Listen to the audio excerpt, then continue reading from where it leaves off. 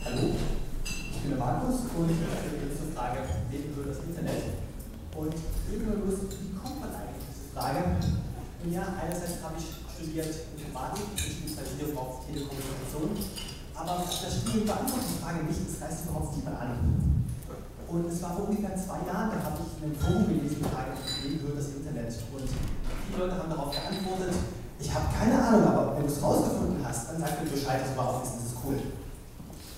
Also irgendwie war das bisschen nicht so verbreitet. Und das letzte ist, ich bin einem Verein beigetreten, der selbst Internetdienstleistungen anbietet. Und da ist mir plötzlich das Licht aufgegangen, wie das Ganze eigentlich funktioniert. Um die Frage zu klären, wem gehört das Internet, müssen wir die Grundlage klären, was ist eigentlich das Internet? Wenn wir jetzt mehr Zeit hätten, und 20 Minuten von Vortrag sind wirklich wenig, würde ich jetzt ein Video von YouTube auspacken, Dr. Hans-Peter Uhl, Tech bezahlt ist, wo er redet über das Internet und was man machen sollte. Den Punkt sparen wir uns und kommen gleich zur langweiligen Definition. Wir kennen so Wörter wie Intercity Express, international.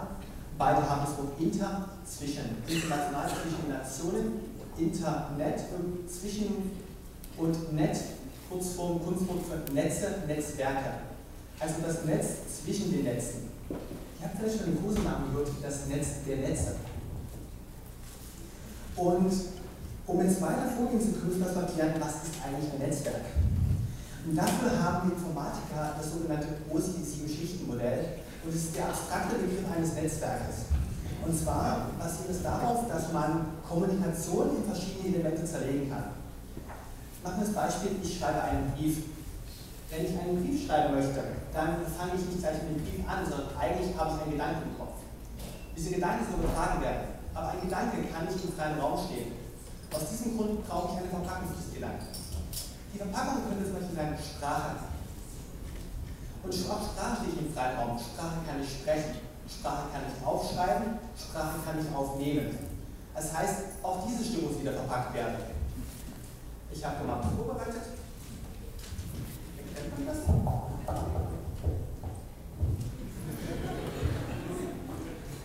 Ich habe jetzt einfach mal einen Gedanken genommen, habe den in Verpackung gegeben. Die Verpackung bei mir ist ein ganz einfaches Bild. Dieses ähm, Stück Information trägt sogar einen Empfänger und einen Absender. Und der muss jetzt weiter verpackt werden, nämlich in die nächste Schicht. Die nächste Schicht sieht ungefähr so aus. Und wenn ich jetzt versuche, diesen Brief zu verpacken, werde ich feststellen, dass ich dabei so winzige Platzprobleme habe, weil egal wie ich den drehe, passt er da nicht rein. Das heißt, wir betreten gerade das Schichtenmodell in die nächste Schicht. Dafür gibt es eine relativ einfache Lösung.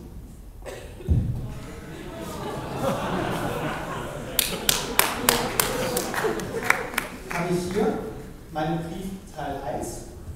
Der landet in einem eigenen Umschlag. Der Umschlag wird beschriftet mit Brief Nummer 1.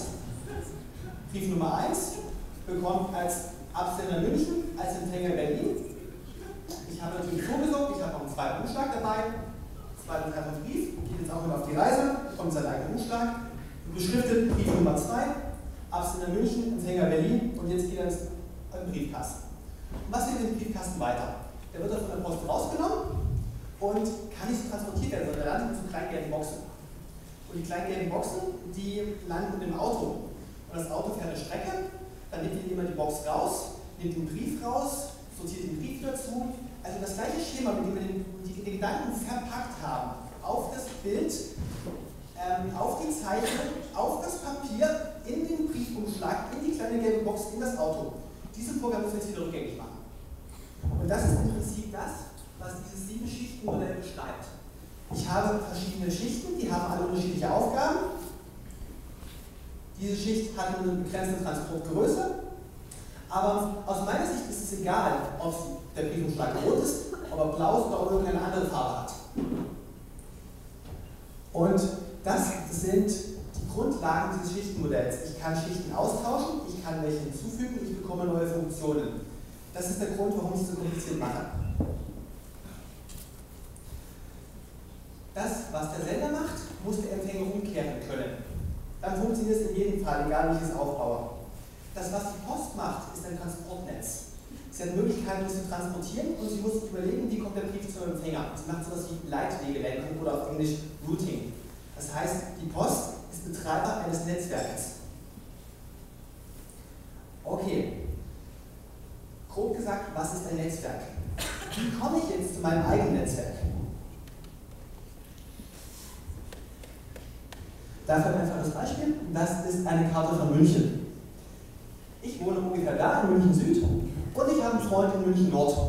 Und dieser Freund in München Nord hat einen Computer mit ganz viele tolle Filme drauf, die ich eigentlich auch anschauen möchte. Das heißt, ich möchte, dass mein Netzwerk und sein Netzwerk zu einem Netzwerk werden.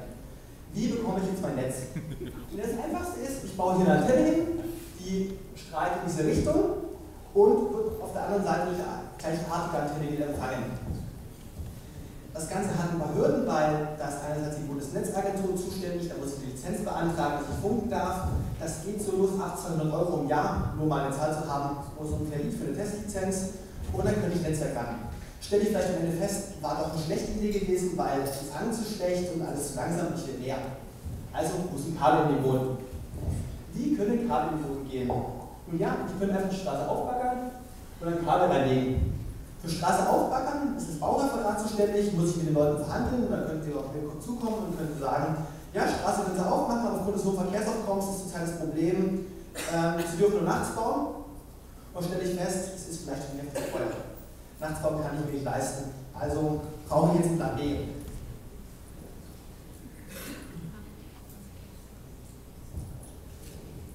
Das Netz kennt ihr, das ist das Netz der U-Bahnen und S-Bahnen in München. Warum komme ich drauf? Nun ja, bevor ich jetzt mein Kabel selbst im Boden vergrabe, habt ihr vielleicht die U-Bahn-Tunnel gesehen, dass da an der Seite so Rohre drin liegen und dass da eventuell noch Kabel drin liegen, dass da so Haken sind, die sind frei, sind nicht benutzt. Und genau auf diese Haken, da kann man Kabel drauflegen. Das heißt, der nächste Schritt wäre, ich gehe jetzt einfach mal auf die Stadtwerke München zu, auf den Betreiber der U-Bahn-Tunnel und frage, wie sieht es aus, kann ich euch ein Kabel reinlegen? Das heißt, ich müsste jetzt hier ein Stück Straße aufbuddeln, würde die U-Bahn-Tunnel lang gehen, würde lang gehen, oben wieder aufbuddeln und könnte mir Kosten sparen. Ich muss das Netz nicht selbstständig bauen. Ich kann von anderen Betreibern Leistungen zukaufen. Stadtwerke sind typischer Level, Level 1 Betreiber, wo ich Leerrohre bekomme. Wenn neue Straßen gebaut werden, sind Stadtwerke die typischen, die sagen, ähm, wir wollten, bevor die Straße zutiert, da noch ein Stück Rohr reinlegen, dass man nachher später Kabel reinlegen kann. Die bereiten das schon vor. Wenn ich jetzt feststelle, dass aus irgendeinem Grund die Verhandlungen mit den Stadtwerken scheitern und ich nicht mein Tunnel bekomme, wie geht es dann weiter? Ich kann versuchen, einen Betreiber zu bekommen, der schon Kabel gelegt hat. Zum Beispiel einen Strombetreiber, der von ganz Süden nach ganz Norden irgendwie Stromkabel hat und kann fragen, ob ich mich damit draufklemmen darf. Ich kann auch einfach zu jemandem gehen, der schon ein Netz hat und kann fragen, ob ich ein Stück aus diesem Netz anbieten darf. Oder die am höchsten assoziierte Stufe, ihr habt wahrscheinlich alle DSL-Anschluss zu Hause, ich gehe zu einem Netzbetreiber, kaufe mir Zugang zu dem sein Netz und bringe meinen Freund dazu, dass er Zugang zum Netz eines anderen Betreibers kauft und hoffe darauf, dass die beiden Betreiber zusammenarbeiten. Also ich kann mein Netz irgendwie zusammenstückeln und ich kann Teile austauschen. Und das ist auch ein Teil des Geschichtenmodells der Leute haben. Das zu fragen, wie bekomme ich mein eigenes Netz? Nächste Schritt ist sogenannte Peering. Eigenes alleine macht keinen Spaß und es gibt viele Netzbetreiber und es gibt viele Netze. Und die müssen irgendwie zusammengeschaltet werden. Und dieser Vorgang, Netze zusammenzuschalten, den nennt man Peering. Ähm,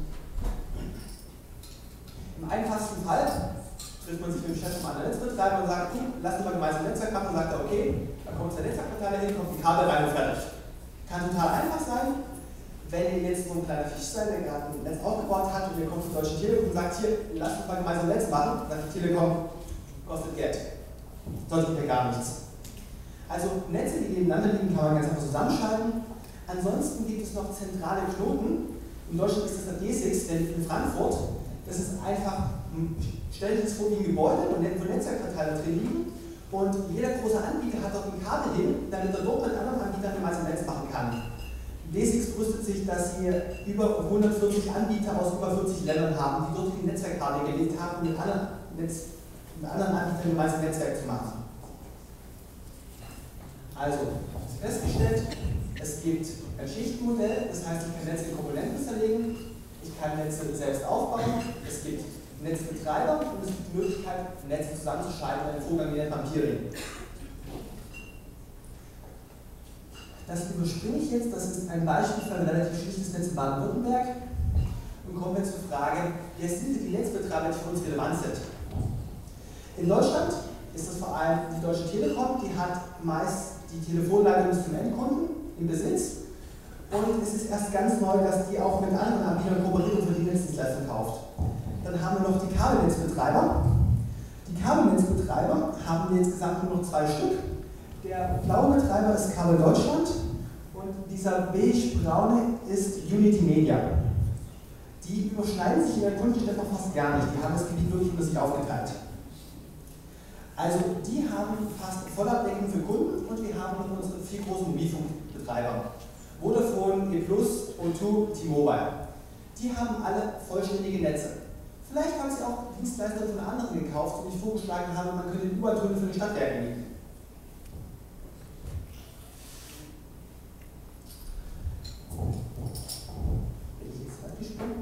Ich habe noch einen anderen Netzbetreiber, den ich unbedingt vorstellen möchte.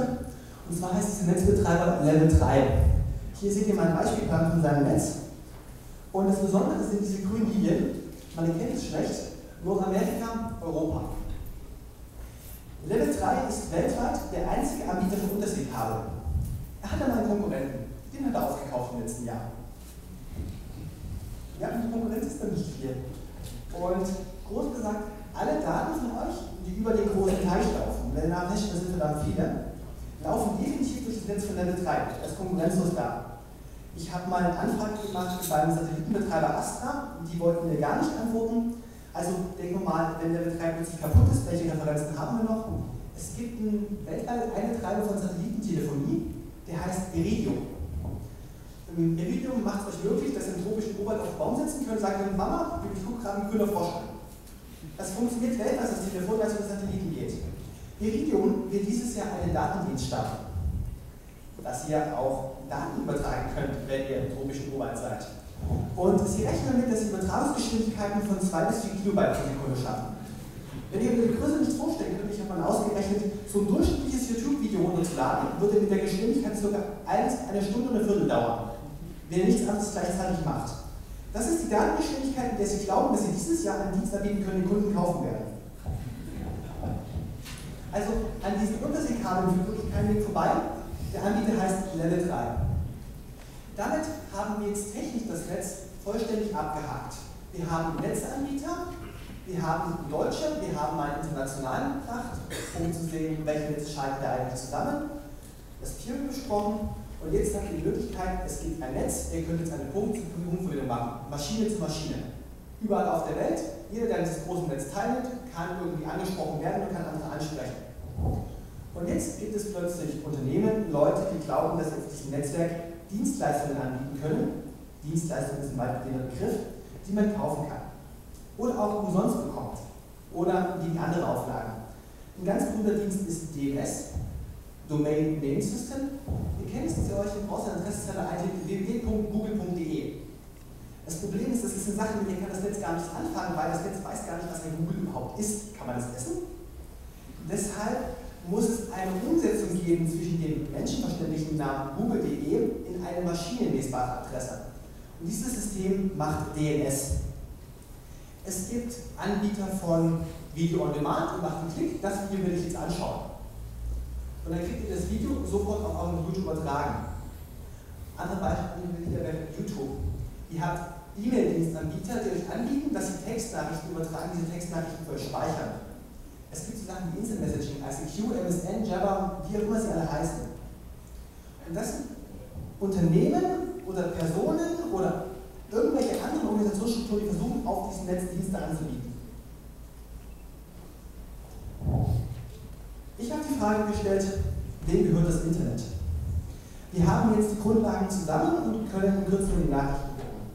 Also wir haben einerseits Netzbetreiber. Bei Netzbetreibern kann man gelegentlich ein paar Monopole ausmachen. Bei der Deutschen Telekom und bei Level 3, die sind wirklich umgeschlagen. Wir können fragen, wer liefert eigentlich die ganze Technik, damit diese Netze funktionieren? Ähm, es gibt einen Hersteller, der heißt Cisco. Es gibt zu diesem Hersteller ein paar Konkurrenten. Und deren Hauptverkaufsargument ist, dass sie mit Cisco kompatibel sind. Also, da ist Cisco wirklich einmalig, wir werden nachher in den Nachrichten sehen, das muss nicht immer sauber laufen. Wer liefert die Dienste? Dienste Facebook.com, Suchdienste, Namensdienste, Videostreaming, was auch immer ihr haben wollt, das liefern Dienstanbieter, die in einzelnen Ländern irgendwie Standort haben. Und ich stelle mir meine Frage, wem gehört das Internet, wer hat die Macht, das alles zu steuern? Und um jetzt mal den Vortrag voranzubringen, möchte ich mal euch die Nachrichten schauen. Ich habe da eine Nachrichtenseite, die heißt heise.de. Heise bringt Nachrichten aus Sachen Technik und Computer. Und die Nachricht ist vom letzten Jahr, vor ungefähr ziemlich genau 360 Tagen. Lesen. Und das heißt, Ägypten ist offline oder Mobilfunk. Wie haben die das eigentlich gemacht, dass sie den ganzen Internet abschalten? In einer offensichtlich konzentrierten Aktion, eine halbe Stunde vor Mitternacht, wurde der gesamte ägyptische Teil des Internets offline genommen. Binnen Minuten wurden 350 individuelle BGP-Routen, Border Gateway Protokoll Routen, das sind die, die steuern, die zwei Netze zusammengeschlossen werden, die werden von Hand gesteuert. Die wurden zurückgezogen und dann abgeschaltet. Das heißt, die Informationen, die Netze untereinander verknüpft sind, wurde einfach rausgenommen und den Teil des Netzes von Ägypten gab es plötzlich nicht mehr. Er war von außen nicht mehr erreichbar. Damit ist kaum noch ein autonomes System. Autonomes System ist ein Netzbetreiber, der ein vollständiges Netz hat, Ägypten von außen erreichbar. Es handelt sich praktisch um die erste vorsätzliche, nahezu komplette und plötzliche Abschottung eines gesamten Landes vom Internet, dessen Bürger sich bislang weitgehend relativ wenig bewegen konnten. Die Auswirkungen auf die Volkswirtschaft kann nicht abgeschätzt werden. Das ist ein Netz, das willkürlich abgeschaltet wurde. Und ich stelle jetzt einmal die Frage, ihr habt irgendwo ein DSL-Anschluss gekauft, habt ihr dann Zugang zum Internet? Kriegt ihr das garantiert? Nein. Ihr habt Zugang zum Netz eures Anbieters. Ob das klappt, dass ihr dann ins Internet kommt, ist reine Spielfrage. Und zwar war ungefähr im Herbst in den Nachrichten, es waren zwei unbedeutende amerikanische Provider, habe ich gar nicht den Namen gemerkt, und die hatten ein Peering-Abkommen, das hieß folgendermaßen. Wir sind beide gleich groß und um eine Konjunktur zu machen, schließen wir unsere Netze zusammen und du zahlst mir nichts, ich zahle dir nichts, wir sind einigermaßen quitt, das passt schon. Und dann hat einer der beiden Anbieter angefangen, ein Video-on-Demand-Angebot zu erstellen. Das heißt, klick, ich will das Video haben und der Kunde kriegt das sofort. Und wollte damit Geld verdienen. Und dann kam der andere Anbieter an, ja Moment mal, wenn ihr jetzt Daten durch unsere Netze schickt und damit Geld verdient, macht ihr uns kaputt, gebt euch in Gott die Nase. Moment mal, wir wollen auch was abhaben Kuchen. Dann kam der andere Anbieter an, ja Moment mal, ist bald alles wie gehabt, ich verstehe nicht, was du überhaupt willst. Ja, wenn das so ist, Schnitt, Internet abgeschaltet. Und das ist das Problem, wenn einer ein Anbieter ist beim einen Kunden und eine Webseite aufrufen möchte, die beim anderen Kunden liegt, kommt jetzt eine hässliche Fehlermeldung, die gibt es nämlich nicht mehr. Da führt kein Link mehr hin. Die Netze sind einfach voneinander getrennt. Mutterfehler in Level 3 Netzstunden und Amerika und Europa. Wir haben bisher gelernt, dass Level 3 ein ziemliches Monopol hat und wenn Level 3 was kaputt ist, dann gibt es einen relativ großen Schaden. Die Nachricht sagt ungefähr, der Netzwerkhersteller Cisco hat in den Geräten, die die Verbindung zwischen den Netzen machen, Fehler drin gehabt. Der dazu führt, dass die Geräte einfach ausgefallen sind führt halt mal dazu, dass eben ein paar äh, Border-Gateway-Protokollrouten ausfallen und es ein paar Stücke vom Internet nicht mehr gibt. Technischer Fehler kann mal vorkommen. Das Internet ist eigentlich so groß, dass es ständig Störungen gibt und dass wir sie nur nicht bemerken, weil es gibt noch so viele andere Sachen zu entdecken.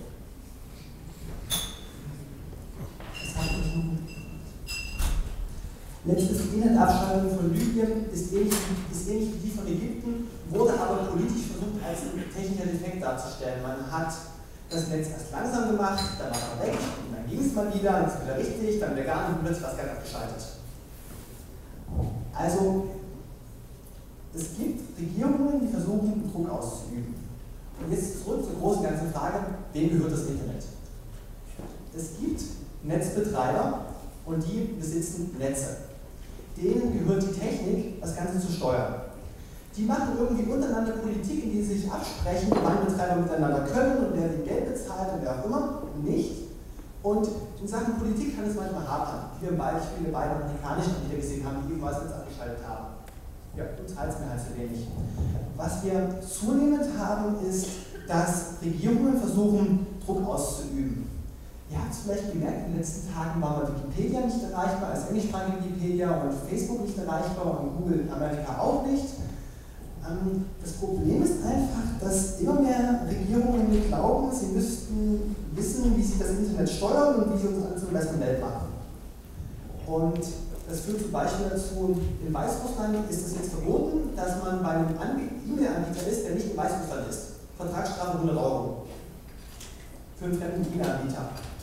Ähm, Italien hat ein Gesetz versucht gehabt, dass unrichtige Informationen in 48 Stunden gelöscht werden müssen und über die Unrichtigkeit kann man später wirklich verhandeln. Aber erstmal löschen. Das Gesetz haben sie nicht durchbekommen. Es gibt so Länder wie China. Ähm, China hat kein Internet. China hat ein landesweites Internet. In China gibt es auch keine Google-Suche. Die Suche dort heißt Baidu. Und Facebook-Zugang ist auch so ein Problem. Und man versucht, die Bürger des Landes vor schadhafter Außenwelt zu warnen. Also was zurzeit in der Gesetzeslage weltweit passiert, ist ein ziemlich großes Desaster, da man immer mehr versucht zu verbieten und dabei gar nicht versucht, die Möglichkeiten auszunutzen. Man hat immer nur Angst vor Diebstahl und vor Sabotage und wohin man schaut, die Menschen eigentlich immer gleich dafür, dass sich unsere Welt damit erst entwickelt hat. Und damit bin ich jetzt am Ende.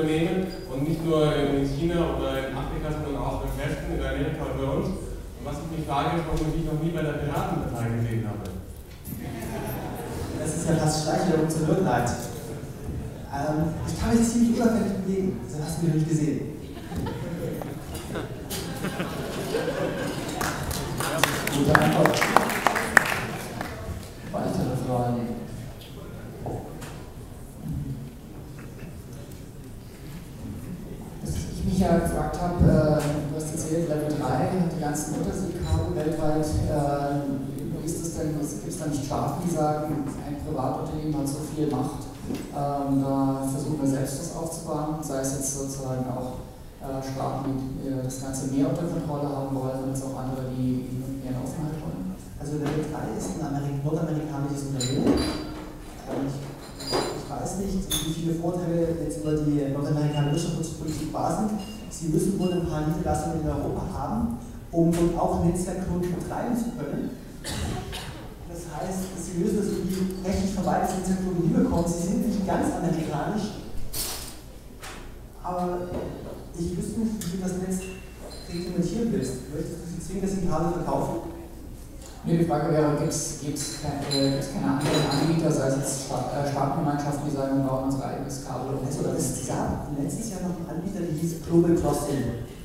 hat ungefähr ein Drittel des weltweiten Netzwerkverkehrs geleitet. Und wie das halt so ist, wurden die dann aufgekauft.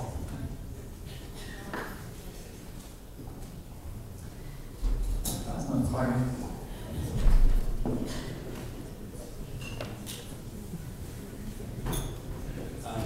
Du hast ja schon ein bisschen äh, nicht also technisch gesehen eine Möglichkeit, ähm, unabhängig vom Kabel von Satellit Daten in derselben DSL-Geschwindigkeit zu verschicken, wie wir es gewohnt sind. Also rein auf Satellitentechnik, unabhängig jetzt mal von dem bekannten Unternehmen. Das wird ein wie weit ich jetzt in die Technik reingehen kann. Prinzipiell, du kannst zwar Daten per Satellit schicken, das heißt, du kriegst das von eine alternative Verbindung. Für die E-Mail und Chat wird das immer ausreichen. Wenn du anfängst, dass du Videos übertragen willst, brauchst du plötzlich krass höhere Geschwindigkeiten, die du übertragen kannst. Und das Problem bei Unterwasserkabeln ist, deren, ähm, es ist so, also grob gesagt, nach 100 Meter Kabel ist die Menge an Energie, die hinten rauskommt, halbiert. Nach nochmal 100 Meter ist die Energie nochmal halbiert. Das heißt, nach 200 Meter kommt ein Viertel der Energie.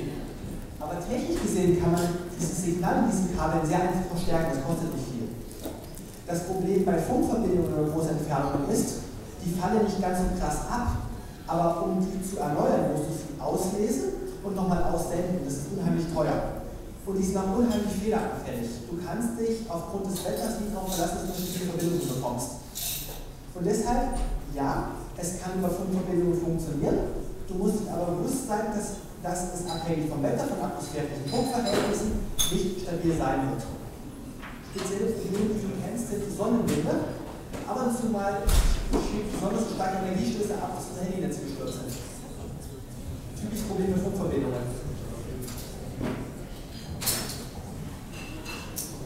Wie sieht es mit Satellitenverbindungen aus? Ist da die, die Laufzeit, wenn das Signal nach oben geht, zum Satelliten dann wieder runter geht, ist das ein Problem? Also, wir hatten mal aus Spaß ausgerechnet gehabt, weil wir so ein theoretisches Modell hatten, wenn 15 gegenseitig stürmen. Erstaunlicherweise ist das Signal, das über den Satelliten läuft, eigentlich schneller als das als das Signal, das durch das Kabel geht. Das Signal im Kabel ist nämlich ein Drittel langsamer, es hat nur zwei Drittel der Lichtgeschwindigkeit. Was bei ungefähr 200.000 Kilometern pro Sekunde liegt. Ist ein bisschen langsamer, stört nicht wirklich. Wieso ist es langsamer als, Lichtgeschwindigkeit, wenn es Lichtwellenleiter sind? Ähm, die Lichtwellenleiter bestehen aus Glas und im Gegensatz nichts ist schneller als das Licht im Vakuum und wenn Licht in ein Medium eintritt, dann wird es langsamer. Und einfach, weil das Glas die Eigenschaft hat, dass es Licht spiegeln kann, muss es für das Licht ein dichtes Material sein, das heißt, es macht es automatisch langsamer. Also das heißt, die schnellsten Internetverbindungen wären zwischen Raumschiffen im, äh, außerhalb der Im Weltraum hast du erstaunlicherweise die besten Funkverbindungen. Sobald du anfängst, dass der Boden reinkommt, dann viertelt sich die, die Signalqualität auf einen Schlag. Ja, noch eine Frage? Keine Frage mehr, dann vielen Dank, Markus.